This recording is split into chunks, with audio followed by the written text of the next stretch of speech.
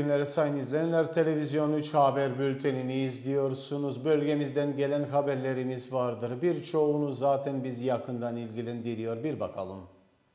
21 Nisan Cumhurbaşkanlık seçimleri yanı sıra belediye başkanlık seçimleri de gündeme gelmiş olacaklar.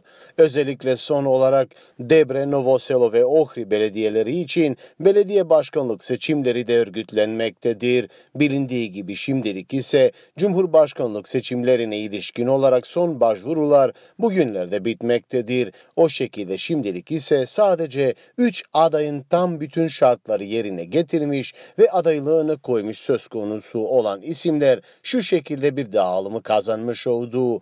Ana muhalefet partinin teklifi üzerine Gordana Siljanoska Davkova Makedonya Cumhuriyeti Sosyal ve Demokratik Birliği'nin adayı Stevo Pendarovski, bir de Arnavut Alyansların ve geri kalan Arnavut partilerin muhalefette bulunmuş olan tek bir aday olarak Bekim Reka olarak kaydan geçmektedir. Bilindiği gibi Debre ve öte yandan ise Ohri ve Novoseo'da yeni belediye başkanları da seçilecektir. Debre Belediye Başkanlığı şu an koltuk için Alyansların temsilcisi ve teklifi Doktor Arben Agoli başta olmak üzere Doktor Hekuran Duka BDİ'nin teklifi olarak bütün bu çalışmalarını önümüzdeki belediye başkanlık koltuk için yarışmış olacaklar. Şimdilik ise herhangi bir sıkıntı yaşanmadan gereken seçim hazırlıkları ve ajandaya göre hareket edilmektedir.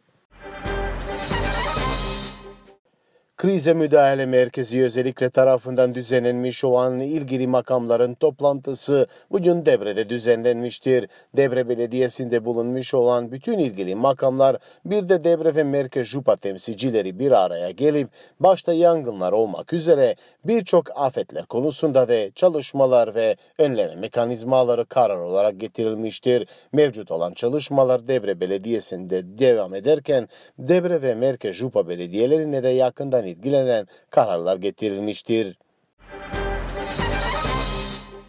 Baytarlar bir yandan öte yandan ise hastalıklar birbirini yenmek için çalışmaya çalışanlar bu sefer de baytarlar tekrar kazancını ileri götürmekteler. Ondan dolayı özellikle mevcut olan veterinerlerin çalışmaları ve öğütlerine göre iade etiket edilmesi gerekiyor. Son olarak ineklerde deri hastalıkları rastlanmıştır ve bunlara müdahale etme konusunda farklı yöntemler uygulanmıştır. Debre Baytarı Maksut Karliku'ya göre yapılacak olan çok şeyler vardır. Özellikle veterinerlere başvurmadan kendi kafalarına göre hareket etmeleri konusunda bu tip evcil hayvanlara zarar ancak verilebilir. Ondan dolayı uzman kişilere başvurup bu konuda Özellikle ineklerde deri hastalıklarının tedavisi konusunda tam bilgi tek alabilinecek olan yoludur.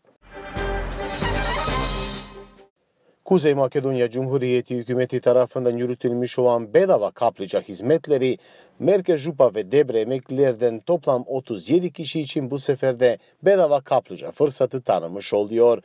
Baştan şimdiye kadar uygulanmış olan proje toplam Debre ve Merkez Jupa'dan 455 kişiye tamamen bu kaplıca hizmetlerinden faydalanma olanağı vermiş oluyor.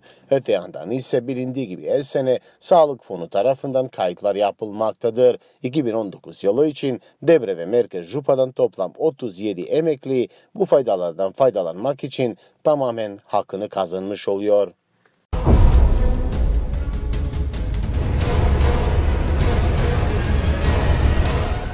Haber bültenimiz devam ediyor. Sırada ise Makedonya'dan gelmiş olan haberlerimiz vardır. Onlara da hep birlikte bakalım. Sınır güvenliği bu sefer ise dünyaca olarak tartışılacak ve konuşulacaktır. Sınır güvenliği konferansı Fas Kraliyeti tarafından örgütlenmektedir. Kuzey Makedonya Cumhuriyeti İçişler Heyetinin başında bulunan Müsteşarı Magdalena Nestoroska birçok yetkili kişilerden de oluşmaktadır. Dünyaca olarak sınırların güvenliği, mülteci olayları ve buna ilişkin olarak konuşulacak ve getirilecek olan kararlar bütün devletleri için büyük önem taşımaktadır. Ondan dolayı birçok ülke özellikle kendi temsilcileriyle Fas'a gelmesiyle birlikte buradaki konferansa katılmış olacaklar. Kuzey Makedonya Cumhuriyeti Sağlık Bakanlığı tarafından örgütlenmiş çalışmalar üzerine eczanelere ek bir destek verilecektir. Özellikle ilaç yelpazesinin genişletme konusunda, bu hacminin konusunda özellikle genişletmek için toplam 776 özel ve devlet olarak Makedonya Cumhuriyeti, Kuzey Makedonya Cumhuriyeti olarak eczanelere 12 bin denarlık ek bir destek söz konusu olacaktır. Katkılarından dolayı şimdiye kadar Kuzey Makedonya Cumhuriyeti'nde başarılı bir şekilde kendi çalışmalarını yürüten eczaneler yanı sıra özel eczanelerinden son zamanlarda piyasaya çıkarmasıyla birlikte birçok alanda vatandaşa kaliteli bir hizmet verilmektedir. Ek olarak bu desteğin neticesinde özellikle vatandaşa verilecek olan hizmetlerden daha yüksek bir performans ve kalite elde edileceğine şüphe yok. 1 Mayıs'tan itibarıyla özellikle buzlanmış olan veya buzlu etin kullanılması konusunda yeni kararlar geçerli olacaktır. O şekilde yeni kararlara göre mevcut olan aditifler ve geri kalan katkı maddelerinin tamamen ette içerilmesi konusunda net ve kararlar getirilmiştir. Bu kararlar özellikle 1 Mayıs'tan itibarıyla uygulamaya konulacaktır. Haber bültenimiz sona erdi. Hayırlı günler efendim.